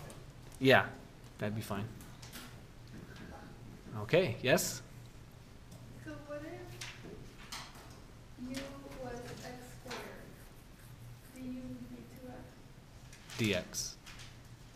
Yeah, if u was x squared, then du would be two x dx. Okay, So that's it. so here, yeah, this, that's the answer to the exercise. Oh, that's the answer to that, should mm-hmm. Yeah, I? What, what about the left-hand side? it's up there, it's that. It's what we started with. Oh, I think I just need to go. Okay, let's keep going. Okay, well, that makes me feel better for saying that, because I'm really not, yeah, I'm really not understanding it. Maybe after we did this, no, we did not do this. We did in one week, two days. One sad teacher didn't have to teach us this. Okay, so here we go. This would be We're all happy about this. Antiderivative of log of x over x squared dx. Wait, wait. I thought we were doing product rule, or the anti-product rule. I thought we were. So do we need to come up with that? Is that what we need to do? So the way it's gonna go, the way it's gonna go is we're gonna accumulate a variety of techniques to compute antiderivatives. You- And then what's gonna happen is I'm just gonna give you a bunch of antiderivatives. I'm not gonna say substitution for that one, eh, you know, by parts for that one. It's not gonna be that way. But, it could be that way. It's not gonna be that way. So you're just gonna be, be faced with a variety of antiderivatives, and you're gonna have to look at it and say, and figure out which one is which. And that's why I'm saying you go through the procedure. Is, to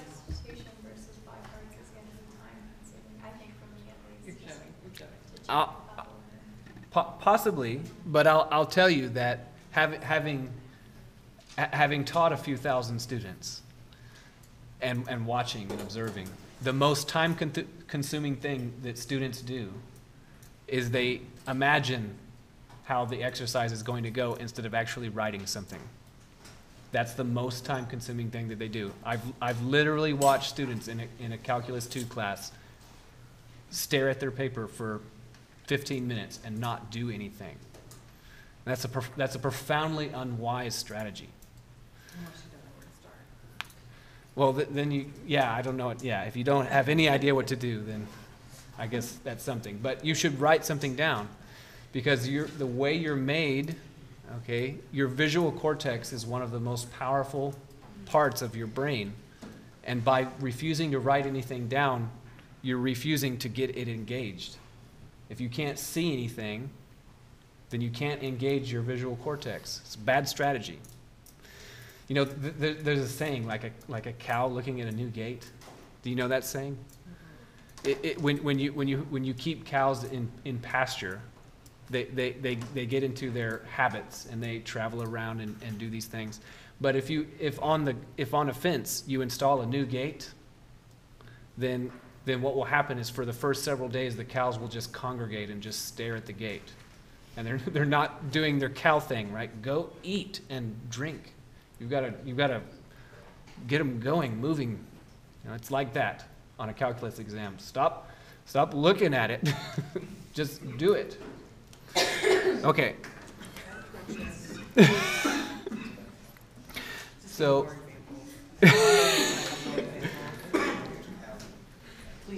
is this one of the antiderivatives we know? no. Can we perform an algebraic operation to turn it into one of the things that we know? No. No. How about a substitution? Oh, less, less confident about that. No.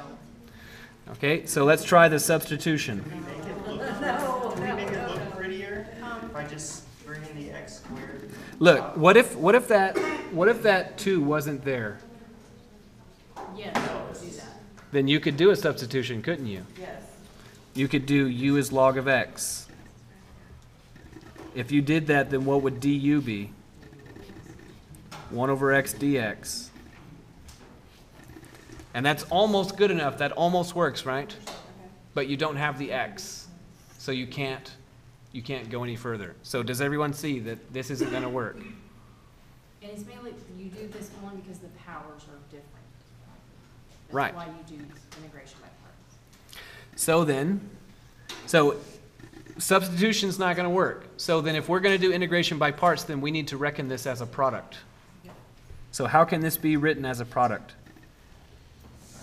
Bring the Log x times x to the negative two. Good. Log x times x to negative 2. That's what I, where I would start. Okay, so now, again, so, th- so this didn't work. This one, the substitution didn't work. So we're going to try it by parts. And again, I'm going to tell you, I'm going to tell you wh- how you're supposed to cut it into pieces. And then next, after this, I'm going to show you how to do it. So remember the formula is UDV.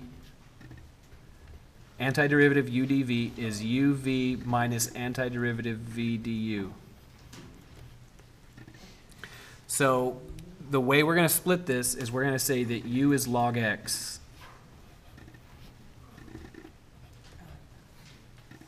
Okay? And then, once you've chosen U, what is DV? Everything else. Everything else. And that's another phrase that I'm going to try and say as many times today as possible, Including the integral or not including? n- not including the antiderivative sign. Oh, the antiderivative, thank you. So dv is everything else, x to negative 2 dx. So how many symbols are in the by parts formula? Four. Four. And how many of them do we presently have? two. So we have u. So du is one over x dx. And we have dv. How do we get v? Antiderivative. Okay, and now this is a moment of truth. Yeah. Can, is this one of the ones we know? It is, right? So that'd be x to negative one divided by negative one, and then no plus c. Can you, can we make that negative, negative x to the negative Yeah, one? if that, if that makes, makes it better for you. So then, Makes the- it prettier. the, the right-hand side of the by parts formula is uv minus the antiderivative of v du. So then substituting things in, that'd be log x, and then x to negative one over negative one, and then minus antiderivative of x to negative one divided by negative one times one over x dx. Is there a song to go with this one? or we- You know what? I think the next thing I'll do is sing a song. I'll do, I'll sing a song on the next exercise.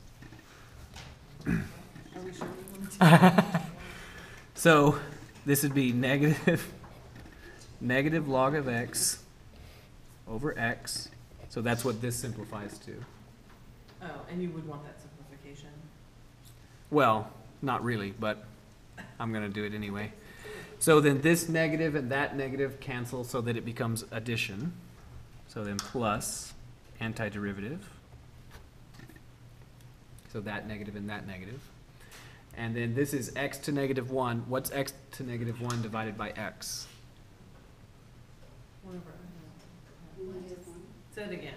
What is, what is x to negative one divided by x? Oh, one over x squared. One over x squared, which I'm going to write as x to negative two. And so now here's the second moment of truth, right? So is this one of the antiderivatives that we know? Yeah. It is.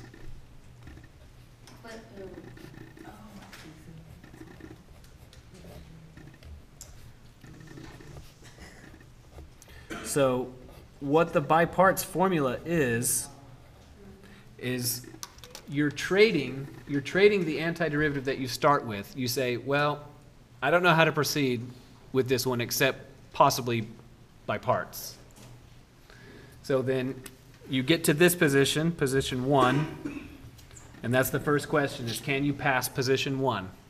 If you can, then you can proceed to position two. And if you can pass that, then you, then you succeeded. Yes? So you can't always do substitution when it's integration by parts, but you can do integration by parts for substitution. Okay, so, so. Uh, Let me answer your, uh, I'll, I'm, I'll attempt to answer your question. I, if you, if you so desired, I could give you an exercise where, in order to proceed, you'd have to first use integration by parts and then substitution and then integration by parts. Okay? My question was, you said that you couldn't use the substitution and therefore when you're using integration by parts. Right. But can I use integration by parts instead of substitution on one? You can use whatever means works. What, whatever works best and, and quickest is what you should use. But when you don't already know what to do, then follow the procedure.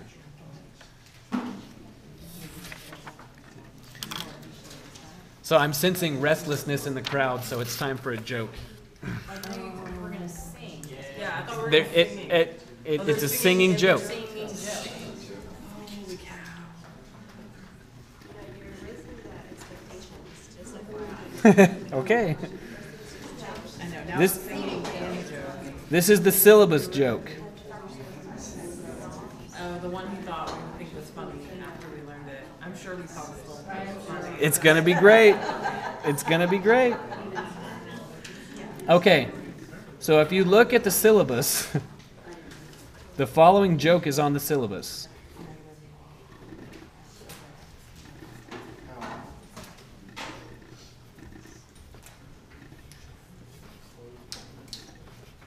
Oh,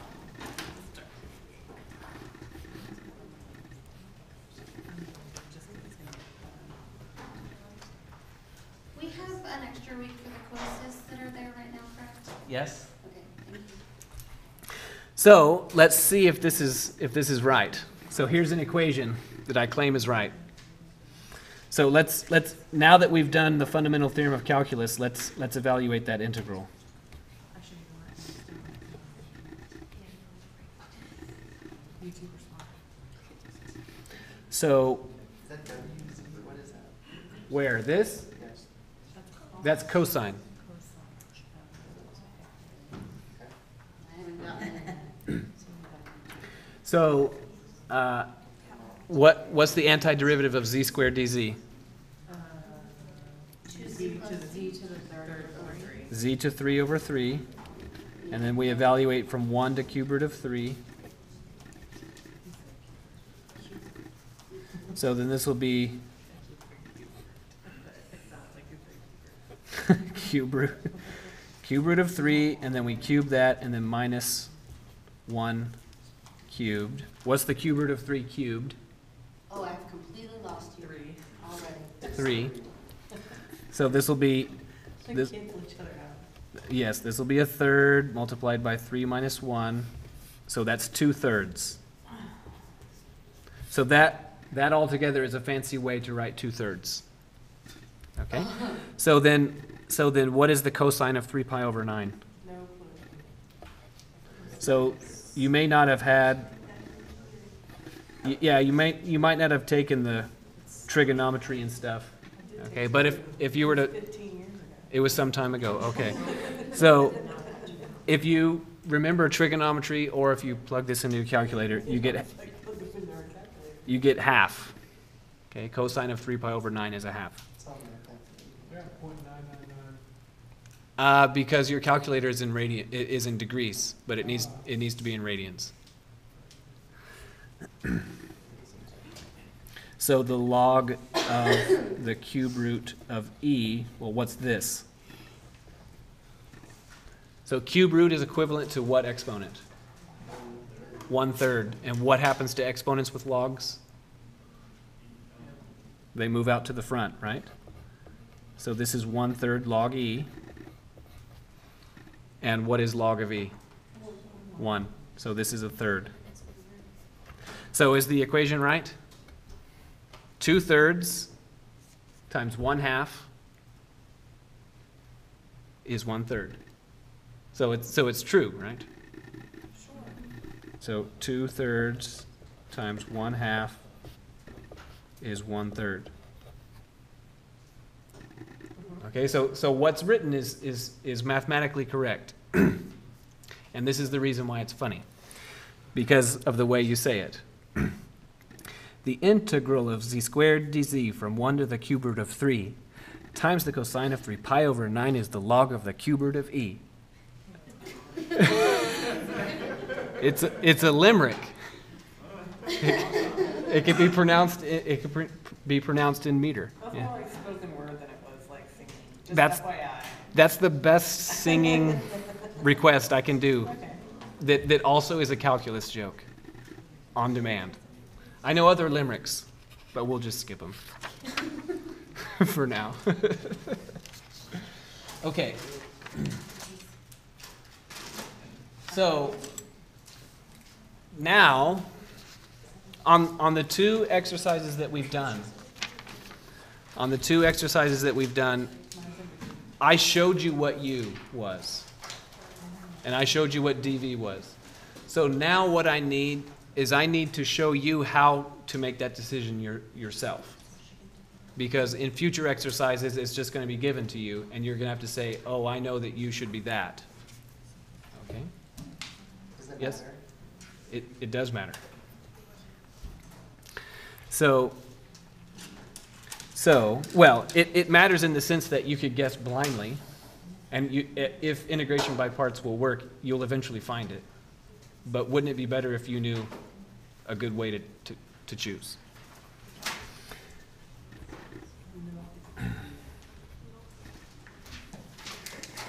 So this is the, this is the uh, heuristic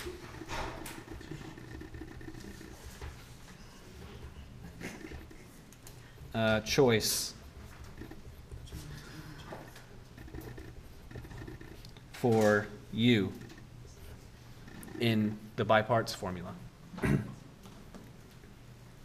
so there's an acronym.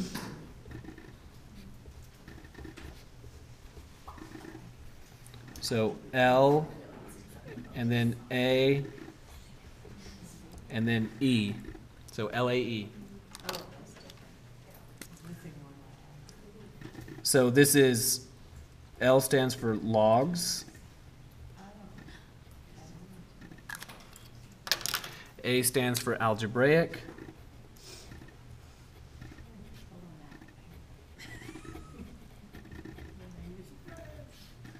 And this is the major, the major member of this group is polynomials.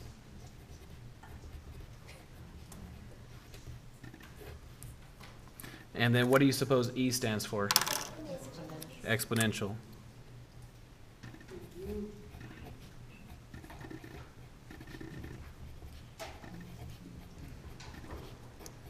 So, in, in an engineering and science calculus class, you have more kinds of functions, and the acronym is actually slightly different and easier to memorize. and I looked all over the internet for, for an acronym about this, and I, I looked at a few textbooks, non-engineering calculus textbooks, and they just don't have one. There's another one, um, What is it? same thing, but it goes lazy people rarely excel, so you have logs, polynomials, radicals, and exponentials, It's actually. which is yeah. algebraic, polynomials, radicals. Really? La- lazy? people rarely excel. Logs? Logs, Polynomials. Radicals, and exponentials. I like that. That's actually from a calculus one book that we. Yeah, we have. I, I didn't I didn't find that, but I don't see I don't see thinking about it. I don't see where radicals really comes into it because that's an al, because that's an algebraic quantity. Oh, okay. They're grouping they're grouping Yes, polynomials in al. Okay, I see. this one, in case you forget. Okay, well I'm already committed to this. So, so lazy people rarely excel. That's fine. I racked my brain. I looked I looked at I got out a dictionary, okay, and I looked at all the and I looked I looked at all the L words and I just tried to find something, find a word that starts with L so I could come up with a phrase. The be, the best thing I could do the best thing I could do is is is say that we're gonna call this this this now I now I don't now I don't feel good about this because your, your yours is better than mine, but that's Because fine. you're using your math brain, you're not using our brain. I'm gonna call this the lay an egg method. That's the best I could come up with. Lay lay an egg. I got this sticker. That's that's the best I ha- lay an egg. okay. It, one, one way or another, okay, you need to remember this order. And so what it is is that is that you you determine the category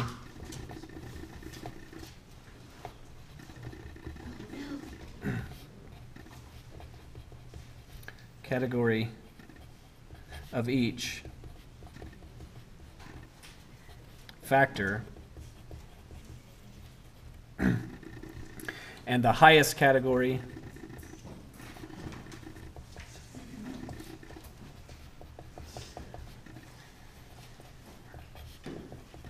is your choice for u. So, to make it clear with an example, I hope. The very first antiderivative we did, which was by parts, is, was this one. X e to 5x dx. So what we're going to do is label each, the category of each piece, of each factor. So what category is X? It's algebraic, because it's, it's a polynomial. Okay, and then, what category is this e to five x? Exponential. Exponential. And then in the lay an egg method, which one of those letters comes first? A. A comes first. So what's the choice for u? A. Eh, Sorry? Mm, Nothing, I'm, I'm following. Okay, so then, notice that what, what this is, is this is a choice for u, but that also tells you what DV is, because once you've chosen u, what's DV? Everything else. Everything else.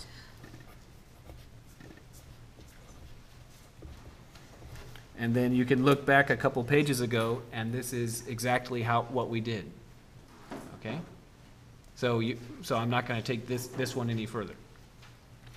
So similarly, the, the previous exercise, the previous exercise was this. So x to negative two log of x dx. So then let, that, let's label the individual factors.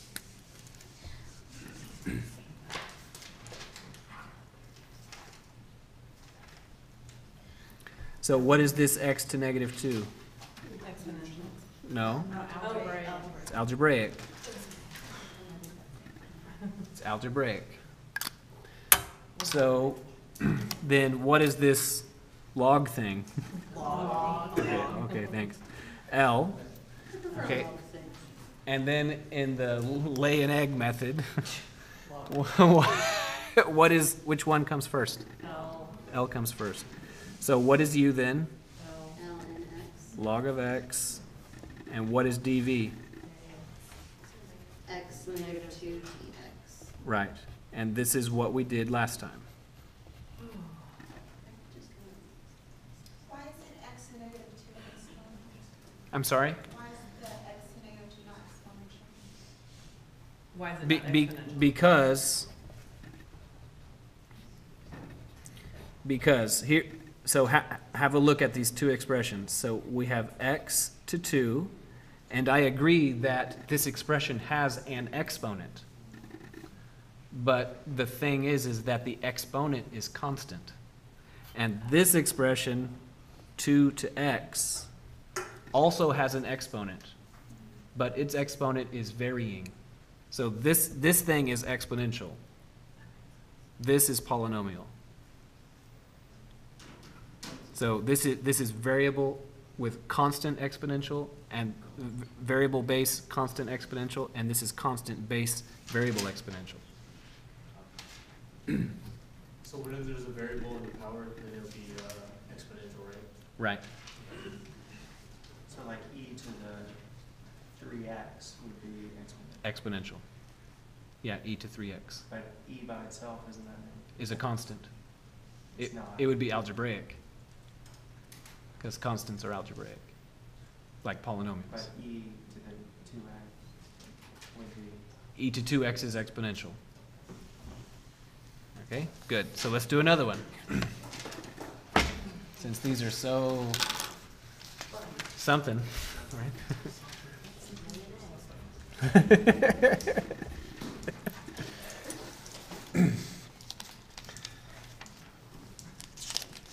It's bad. How long did it take you to come up with that? I, I, w- I took me about 10 minutes. Oh, okay, ten minutes. I look at Facebook for ten minutes a day. Uh, let's see. Okay. So we're going to do two things different. So now we're going to do an integral, and I'd like for you to observe that to now we haven't done any integrals. They've all been antiderivatives. And we're going to integrate the log of 3x.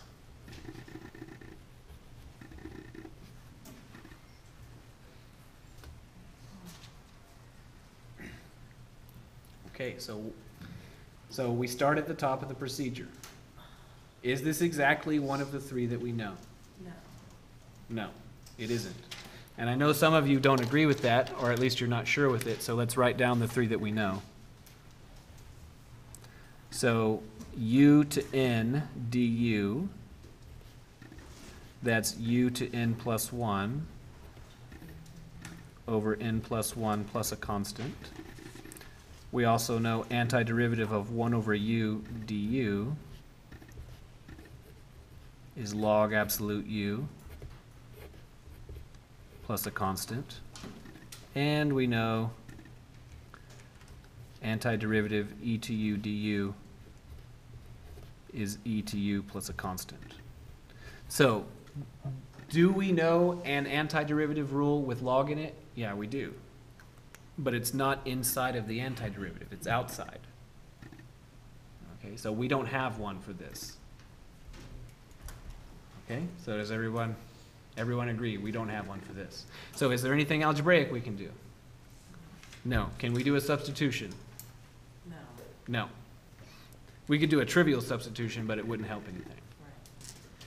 Okay, so then we need to, we need to do by parts. But that's a little confusing, because presently it looks like there's just one factor. And you need at least two, right? So I'm gonna give you a hint. Factor out the three. The three cannot come out to play. Would you do the, this thing that we did earlier where, which is log base and separate it into equations? I'm not sure I follow you. Okay, so then I'm gonna, I'm gonna give you a hint. So log of three x times one dx. Uh, Oh, okay, sorry, he was.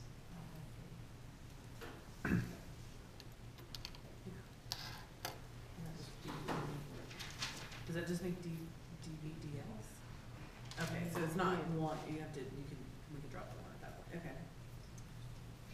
So let's, let's label all the factors. So what is, here's log, what is it? You. Okay, I, I, It's a log. it's a log, right? It's an L. Oh, oh. So I'm, I'm still back here. Yeah, I'm still, still trying to lay the egg. Okay, and then what's this one? Wouldn't it be everything else? It's algebraic. It's a, it's a, like, it's a constant. well, constants are polynomials. Wouldn't everything else be that? I'm sorry? Wouldn't everything else be? Well, you, you only label the non-differential parts, and because we're trying to figure out what u is. So between L and A, which comes first? no. L, right? So this is, so we're gonna say u is log x, uh, log three x. So I have a question, and I, you probably answered this a while ago. Is that log or is that ln? Yes. Both, okay, that'll work, that's fine. So it's, it's log. So i- if, if, if you're in a science class, they'll probably call it natural log. Okay. But it is natural log, you're not writing log, Right, I'm, th- Okay. those are, those are L and then, in- and then Okay. N. that's what I thought. Yeah.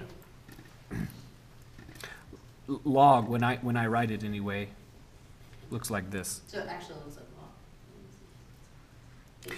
So if, if u is, is, uh, log three x, then what's dv? Yeah. Right, dx, everything else. Where's my phone number? So how many things are in the by parts formula? Four. How many of them do we presently have?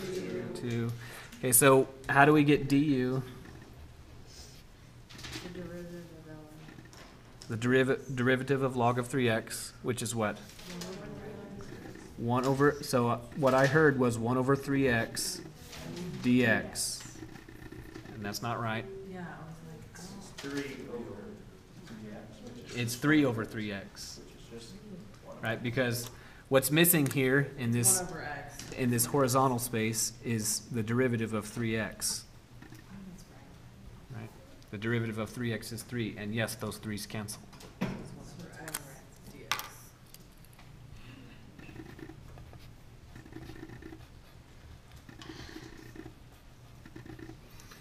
Okay, so then what is, uh, we have dv, what's v then? Of d, of one dx, and so what's that? x. It's x. Okay, then the right-hand side of the by-parts formula is uv from one to nine minus integral one to nine v du. So now we just substitute in. So that'd be log three x times x from one to nine minus integral one to nine of x times one over x dx.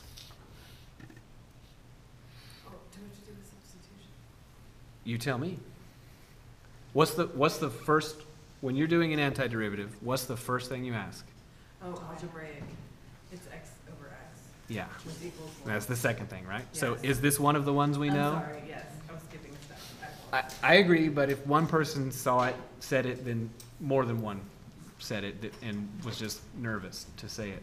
Is this one of the antiderivatives we know? No. No. Is there something algebraic we can do to turn it into one of the antiderivatives we know? Yes. Yes, we can simplify that expression. Okay, good. So then,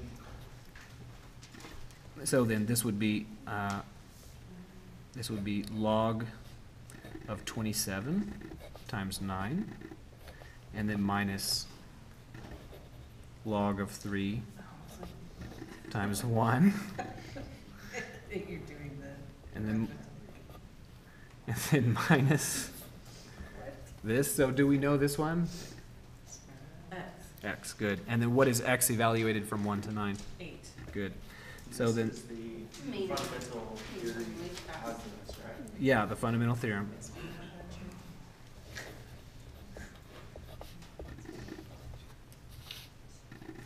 And that's the answer. So that might not look appealing to you, but, but that's, that's the answer. The right-hand side is just x after we do integral, right? Yes, the, the antiderivative of dx would be x and then evaluated from one to eight. How does the negative factor? Negative just comes in. Right. Ah, yeah, yeah, yeah, yeah. Thank you, sorry.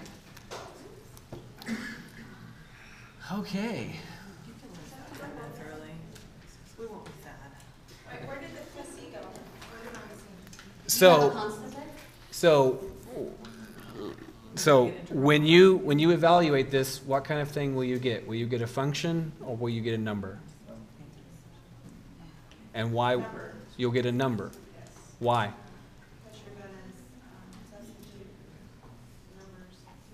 Right, because, because this is an integral, right? The other, the other kind of thing is an antiderivative. You, you only get the plus c's with antiderivatives, not with integrals. It would be like, it would be like saying, if, if, if you took out your wallet and you, Oh, oh, okay, okay. you counted all your money and then you said, I have eighty-seven dollars plus C. I just realized that we. Okay. So let's do, I we can go. My brain is dead. brain is dead? Okay, we'll do one more then.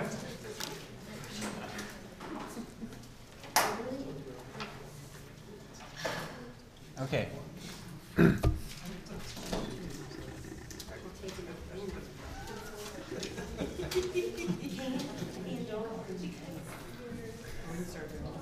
You know, believe it or not, on, on average, each of you is going to pay thousand dollars for this course. Some of you more, some of you less, depending on how many hours you're taking. A thousand dollars. What are we talking about? And we meet, we meet, Oh, what, how much we're paying. four and a half hours a week. That's how much we meet. And we meet for eleven weeks. So that's on the order of fifty hours, Okay. right? Okay, so, so you're, you're literally paying twenty dollars an hour. That's the rate. It's cheaper than my tutor. Che- cheaper than the tutor, okay. But I'm just saying, you know, there's, there's, there's eight minutes left. You've paid twenty dollars an hour, and really, you're gonna pay more, because, because if you're, if you're a citizen of the state of Texas, then you're paying taxes for other people to come here, and you're gonna, if you took out a loan, you're gonna pay interest on it, okay? There's all kinds of Now stuff. I'm really depressed. Yeah. We're gonna need to continue doing a problem bar, you're gonna need to let me go home so I can start drinking. Okay. Now when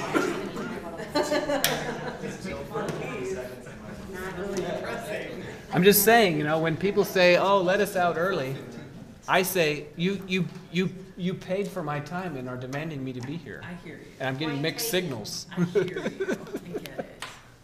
You may proceed.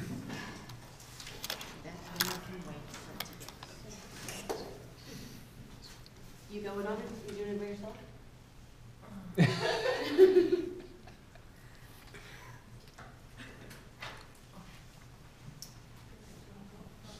Sorry.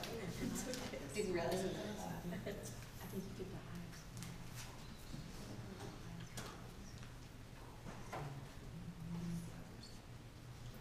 I don't know what my variables are yet, but I can.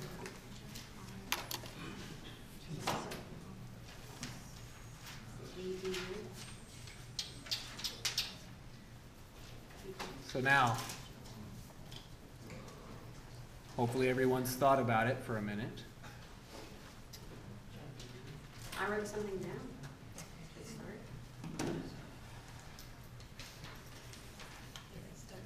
I didn't write down. So the, the purpose of this exercise and the purpose me, of me giving this exercise right here, right now, is summarized in a statement that's very old.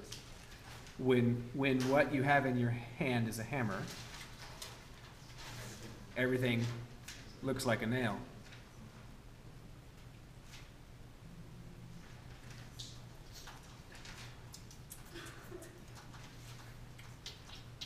So what do you suppose I mean by that? That we're supposed to do Don't something have no else. way. We're not supposed to do the product, anti-product rule by parts, whatever you wanna call it. No, because when you raise that bottom part that at the first top, one. it becomes, it's raised to a power. This is not a by-parts problem. That's what I'm saying. It's a u- It's not a use of, is it a use of? Oh. It's a substitution problem. Okay, it's a substitution problem. And so this is what I mean, and this is why, because we're going to accumulate even more techniques as we proceed. And this is why it's important to know the procedure. Is this one of the antiderivatives that you know? No. No. Is there an algebraic simplification you can perform? No. Is there a substitution that you can make? Yes. Right? You're looking for something, you're looking for a u whose derivative also appears. So can you see anything in there? That, a, a, a u whose derivative also appears? Yeah.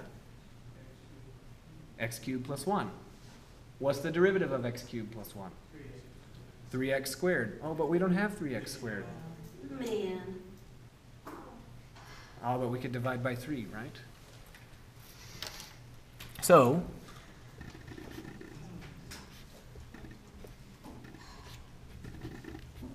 if u is x cubed plus 1, then what's du?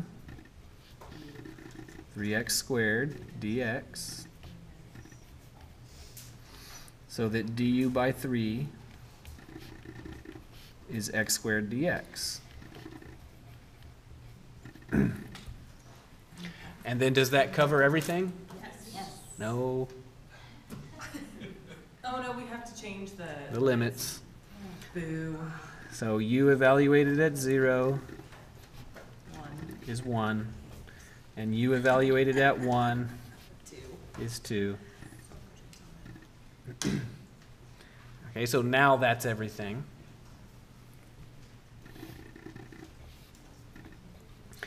So this would be integral from where to where? 1 to 2 of what? U, du over three. Uh, not quite. 1 over u du over 3.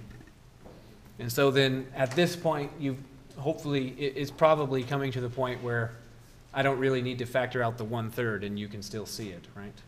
So what is, what is antiderivative of 1 over u du? Log absolute u, right? So this would be a third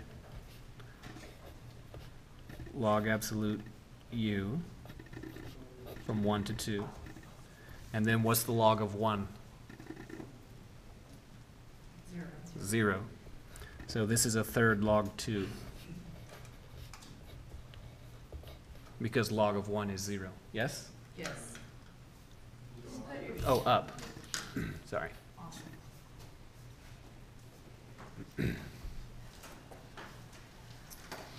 Okay, so the way it's gonna go is gonna give you all kinds of integrals and antiderivatives. And I'm not gonna say substitution on this one, by parts on that one. Some, some of them I will. Some of them I'll do it specifically. But some of them are just going to be, you're just gonna be shotgun. And we'll get them. No. Practice that on our homework before it's time. Yes. Okay, have a nice weekend. I have two questions. What's the process that you can say? So do you know, Is it one of the antiderivatives that you know? When you drop the algebraic that just got it on Is there something algebraic to turn into one or more of the things that we know? Try substitution.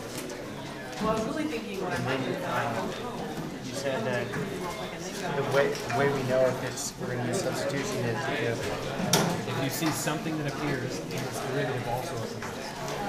So, like, if u is this, what you're looking for is something like the chain rule. Something that looks like the chain rule. I really, I really don't know. And then we go to the parts. Yeah, by parts is next.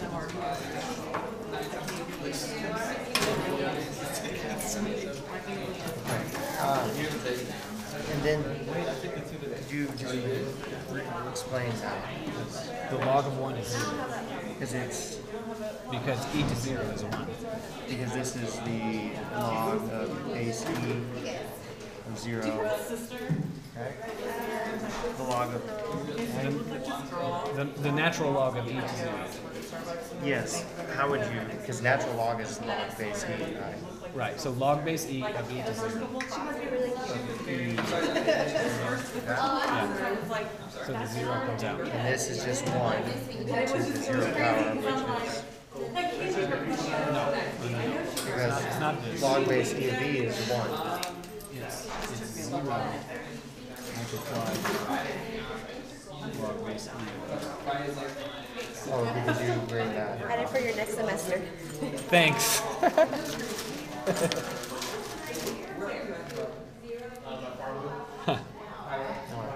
Couldn't find anything like that.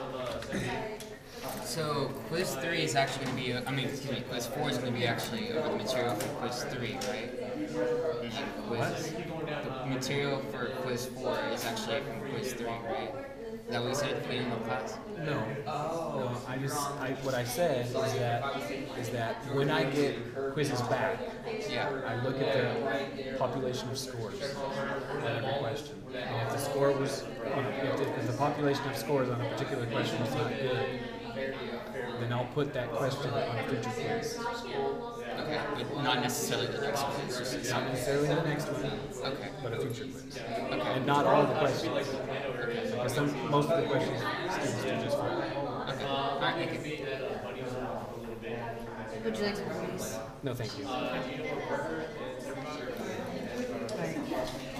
So I have a question about um, the hearing tomorrow. You had said like go or they like keep having it, but I can really like only go eight in a week. Like, is there any way I can email and be like, hey, what? Like, I don't know. Yeah, send him an email and let know. Okay. I just Yeah. It's because it's not me. Right, right. Well, and I went there tonight, and like the guy stayed late, which is nice because I can't get here most days until five, and so the fact that I got there late and he stayed, was like really cool. So they're really cool. I just, it's a good time when I don't have my kid. Right. So I get, I get that. I would like to spend time with him at some point.